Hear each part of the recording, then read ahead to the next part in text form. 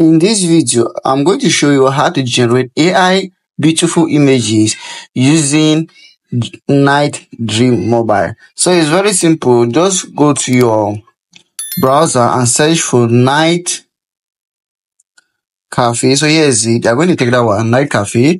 So the first one up also, you click on login.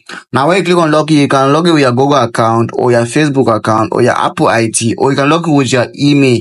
It's very simple to log in. So once you've logged in and created your account, you will receive you can then generate images. So this is how to generate an image.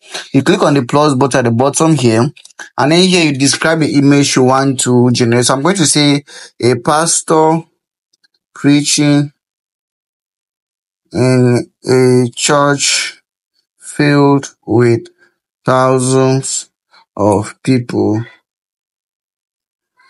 praying. Alright, so after you've described the, the image you want to generate, you click on the style. Which style do you want? So you see are various styles here.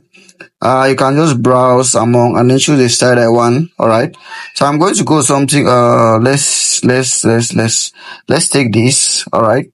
And then once that's done, just click on done and then image.